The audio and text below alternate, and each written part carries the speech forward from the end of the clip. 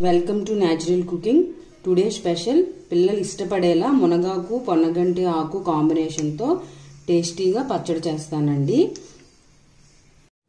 పెద్దవాళ్ళు ఈజీగా చేసుకునేలా మునగాకు కషాయం ఎలా చేసుకోవాలో చూద్దామండి. ఆషాఢ మాసంలో తప్పకుండా తీసుకోవలసిన ఆకుకూర మునగాకండి. దీనిలో అద్భుతమైన ఔషధ గుణాలు మంచి పోషక విలువలు ఉన్నాయి. హండ్రెడ్ గ్రామ్స్ మునగాకులో ఉండే వాల్యూస్. మునగాకులో ఉండే విటమిన్స్ మినరల్స్ చూద్దామండి. బనానాలో ఉండే పొటాషియం కంటే మునగాకులో ఫిఫ్టీన్ టైమ్స్ ఎక్కువగా ఉంటుందండి. క్యారెట్లో ఉండే విటమిన్ ఏ మునగాకులో టెన్ టైమ్స్ ఎక్కువగా ఉంటుంది.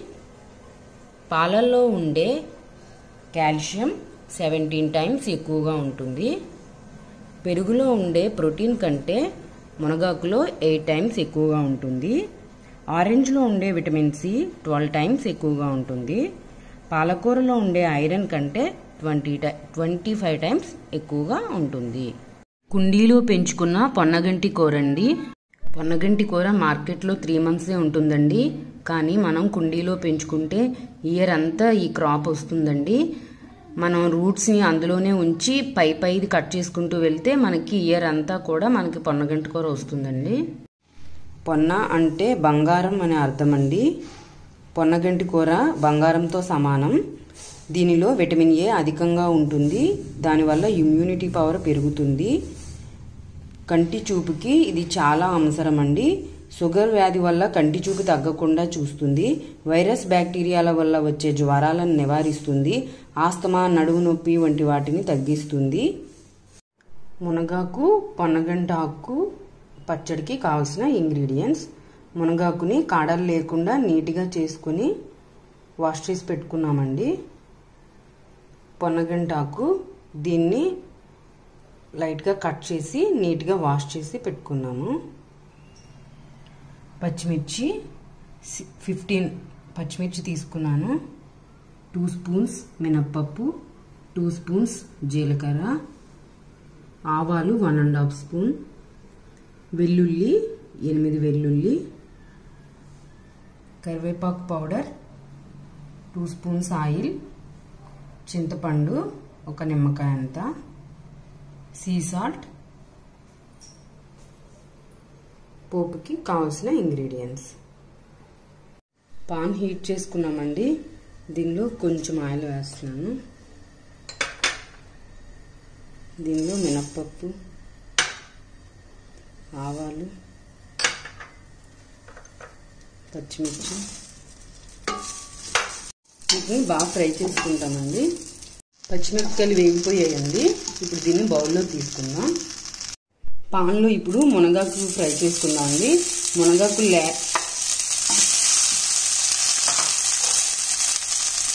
అలాగే పొన్నగింటి ఆకు కూడా వేస్తున్నాను. మునగాకు లేతగా ఉన్న తీసుకుంటే మనకి ఫాస్ట్గా మగ్గిపోతుందండి. ఇది ఒక సెవెన్ మినిట్స్లో మగ్గిపోతుంది. ఇందాక మిగిలిన ఆయిల్లో కొంచెం వేసుకుందాం.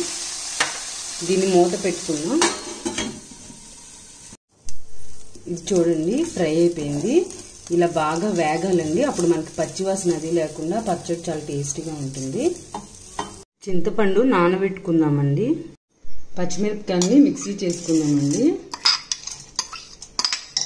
దీనిలో సీ సాల్ట్ జీలకర్ర వెల్లుల్లిపాయలు కరివేపాకు పౌడర్ పచ్చిమిర్చిల పేస్ట్ అయిందండి. దీనిలో చింతపండు యాడ్ చేసుకుందాం. ఇది నలిగిపోయిందండి. ఇప్పుడు మనం ఆకు యాడ్ చేసుకుందాం. ఇలా చేసుకున్నానండి. మరీ స్మూత్ పేస్ట్లా కాకుండా ఇలా చేస్తే బాగుంటుంది. ఇప్పుడు దీన్ని పోపు వేసుకుందాం. పాన్ హీట్ చేసుకున్నామండి. దీనిలో మిగిలిన ఆయిల్ యాడ్ చేసాను ఆయిల్ హీట్ అయిందండి. దీనిలో మినపప్పు శనగపప్పు మినపప్పు ఆవాలు. దీనిలో ఎండుమిర్చి కరివేపాకు యాడ్ చేస్తున్నానండి. ఫ్రై అయిపోయిందండి. దీనిలో ఇది యాడ్ చేస్తాను స్టవ్ ఆఫ్ చేస్తాను. ఇది రైస్లోకే కాకుండా టిఫిన్స్ రోటీ అన్నిటికీ కూడా బాగుంటుందండి. రెడీ అండి. మునగాకు పొన్నగంటి కూరతో కాంబినేషన్తో ఇది చాలా టేస్టీగా ఉంటుందండి. ఇందులో మునగాకు ఫ్లేవర్ కానీ ఏమీ తెలియదు మీకు. చిన్నపిల్లలు చాలా ఇష్టంగా తింటారు. కషాయం ఎలా చేసుకోవాలో చూద్దామండి. నేను ఈ వన్ కప్తో మునగాకు తీసుకున్నాను ఈ బౌల్లో. దీంట్లో కొంచెం వామ్ యాడ్ చేస్తున్నాను. మంచి ఫ్లేవర్ వస్తుందండి. వన్ గ్లాస్ వాటర్ యాడ్ చేశాను. దీన్ని ఒక ఫైవ్ మినిట్స్ బాయిల్ చేసుకుంటే సరిపోతుంది. ఫైవ్ మినిట్స్ అయిందండి. స్టవ్ ఆఫ్ చేసేద్దాం. ఇప్పుడు ఫిల్టర్ చేసుకుందామండి. మునగాకు కషాయం రెడీ అండి.